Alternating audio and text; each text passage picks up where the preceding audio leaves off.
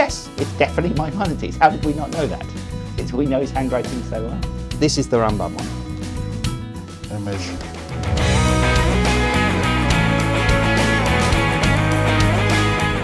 If you came to me, you know, 10 years ago and said, what's the most exciting thing, I probably would have said Bibles and so on. But now if you come to me, I will say something completely different because we've been working on it ever since. And it's not just us here in Cambridge. In fact, it's, you know, we're a tiny um, group compared to the wider world of people who are now working on the Geniza. Um, because the Geniza was digitized 10, 15 years ago. Um, very generous man in Canada gave money to digitize the whole collection. Um, and so we, our whole Cambridge collection is now available on the internet. And consequently, Geniza research has exploded around the world because people can sit at home and just sort through manuscripts and find interesting things. And that's exactly what's now happening. So we have a colleague, colleague from, from Spain, Professor Delgado, we know him as Pepe. Um, he's been working on putting together a book of Spanish documents, so documents from Al-Andalus that are in uh, Geniza, because a lot of Jews from Al-Andalus either sent letters to Egypt because they have strong cultural and trading uh, economic links, or they actually, like Judah Levi, um, Judah Levi, they, they actually traveled to Egypt. Um, so their documents ended up in Egypt and, in, and eventually ended up in the Cairo Geniza. So we have lots of documents from Al-Andalus um, and very early ones, you know, so 11th century and so on. Um, and uh, among those documents are some of the most famous figures of Jewish history. So Andalusians who end up in Egypt, Judah Halevi and Moses Maimonides being the two, you know, the two that everyone would name. But there are many, many others, of course. Um, um, but in compiling this collection of documents relating to Al-Andalus, our colleague Pepe um, looked at a manuscript that we had published years ago. And it's what we call a glossary. So um, because the Geniza society was multilingual, and because it was multi-ethnic, as in Jews came from many parts of the Jewish world, there was sometimes a need for them to translate vocabulary so that they could understand each other. All Jews knew Hebrew. Obviously, they prayed in the Middle Ages, they read the sources, so Hebrew and Aramaic, well, you know, it was the responsibility of every educated person to know these. Um, but if they didn't come from the Islamic world, then they wouldn't necessarily be Arabic speakers or Persian speakers if they came from, the, from far in the East. Um, and especially in the 12th century, following the Crusades and what the Crusaders did in Europe, we find in Cairo a lot of Jews coming from Christian lands. Uh, and so we have a lot of figures popping up from southern France, northern Spain, Ashkenaz generally, in Egypt. And they start to leave um, their documents in the Cairo Geniza record.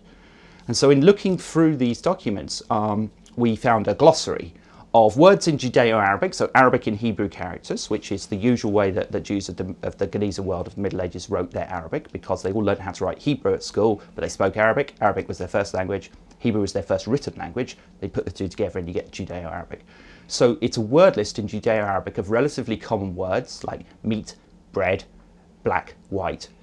And underneath it were words in what we identified when we first published it years ago. My colleague, um, uh, Dr. Avi Shivtiel, published it um, as words in a unknown Romance language, so Spanish, Italian, a Romance language of some kind. He published that. It was fine. It was nice. Um, here was a a list for someone who was possibly, you know, arriving in Egypt and needed to understand basic words to live. You know, how to buy bread. You know, how to describe colours, that kind of thing. Um, but it was only when my colleague Pepe was looking at it recently that he pointed out what should have been obvious to us it ridiculously wasn't obvious to us, but should have been, that the whole document is in Moses Maimonides' handwriting. So it's in the Rambam's handwriting, which we know really well, because we have documents signed by him, whole letters So signed. he wrote him. the document. He wrote it. He wrote this list. So this list is, is the first time ever we have evidence of Moses Maimonides writing a language other than Hebrew or Arabic, right? He wrote most of his works in Arabic, in Judeo-Arabic mostly. Um, he obviously wrote the Mishneh Torah and other things in Hebrew. You know, he was obviously a master of both languages. He, he had had a good education. He could write Arabic script too. So we do have examples of him writing Arabic as well as Judeo-Arabic. But we have never got, we have never had any examples of him writing a European language. And so what this word list is, probably, and my colleague Pepe is now arguing, is that my Maimonides wrote all the words in Arabic, and these were words obviously he used in everyday life. And he was trying to remember words from his life back in Al Andalus from the Romance language spoke, spoken by the common people of Al Andalus, so the Spanish dialect that was spoken in addition to Arabic. So the kind of words that he would have kn- known if he'd gone to the market, right, to talk to the peasants, you know, to buy food or whatever. He was trying to remember that. And because he couldn't, he was probably asking people who were now coming from northern Spain, southern France for help. As a result, so the word, so if you look, there's like aswad, right, black in Arabic, and the word under it is negro, right? Yeah. Um, um, but in some cases, the words are not obvious in Spanish, and so it's what seems to have happened. And sometimes the because he, he uses nikud as well, and sometimes nikud is not what we would expect. So what's quite quite likely is happening is that some of his informants are giving him different dialects of the of Romance. So it's a kind of mixed picture that he's getting. So what we have is important for a number of reasons. One, it's by Moses Maimonides, you know, the greatest Jewish thinker of the Middle Ages. Um, it's the first time we have evidence that he actually knew any Spanish. You know, we, you could assume he did because he grew up in Spain, but you, you can't be sure because he lived very much in an Islamic, Jewish Islamic environment, learnt Arabic, you know, read all his books in Arabic and so on. But also, it's some of the earliest and most important attested vocabulary for a now lost Romance language because that, that the, the language of Al-Andalus disappeared after the Reconquest. The, you know, when, when uh, the Christians took back Spain, that language spoken in Al-Andalus just disappeared, and you know, northern, the northern Spanish, whatever, took over. So that is the kind of Geniza in a nutshell. It's vitally important to, to people who are interested in the history of Judaism, the figures of Judaism, Jewish studies generally. But also, it turns out to be extremely interesting on the social history of the movement of Jews around the Mediterranean in this period, 12th, 12th to 13th century and it gives us linguistic information that we don't have from, from hardly any other source. So I mean that's you know, just in, a, in, in one document shows quite what the Geniza can do, and that was purely by chance discovered literally a month or two months ago by my colleague Pepe, who suspected it was by Maimonides and you know sent an email to to me and to my to my Israeli colleague Dr. Amir Ashur, who was here. Uh, who know who he was in Israel at the time, but you know he asked me to go and check the manuscript. We checked it together, and yes, it's definitely Maimonides. How did we not know that? It's, we know his handwriting so well. This is the Rambam one. Um, and if you look, so, so um, for instance, here you have um, in Hebrew characters, so you have laham, which is, is, is meat in Arabic. Yeah, obviously in, in, in Hebrew it's bread, lechem, but in Arabic it's meat. And underneath it, again, in the Rambam's handwriting, especially you can see the way he writes his kuf, which is very like the Rambam, it says carne. So, you know, carne in, in Spanish, meat. Yeah, carne is Spanish. Yeah. Latinic word, yeah. And so, and what you have here are all of these sort of everyday words for, you know, and, and in some cases he doesn't have a Spanish word because he doesn't know the word. So, you know, death and so on, he doesn't have a word for. Um, but here, yeah, so here you have aswad and negro. Um, but you can see on this, on, on, on the right hand side, he doesn't have Spanish words for any of these. He doesn't know the, the words for them, showing that, that you know, he had an imperfect memory for the language that he might have known, you know, when he was young. Now, if you ask, how do we know this is his handwriting? Well, the, the most famous discovery of the Rambam that was made from the Geniza was this letter written by him that was published in relatively early days of Geniza research. And this is a whole letter in his handwriting, and it's a letter of introduction. So um, uh, it's introducing a man who has arrived from Morocco and he's going to settle in Egypt. And he knows Maimonides, so Maimonides has written him a letter of introduction to carry with him to the community where he's going to live so that he can get help from the Jewish community to pay the jizya poll tax that he has to pay to the Islamic authorities. And this one is unusual because it's signed with Moses Maimonides' full name, Moshe Berabi Maimun Zatzal, because his father at this stage is dead. Moshe Berabi Maimun.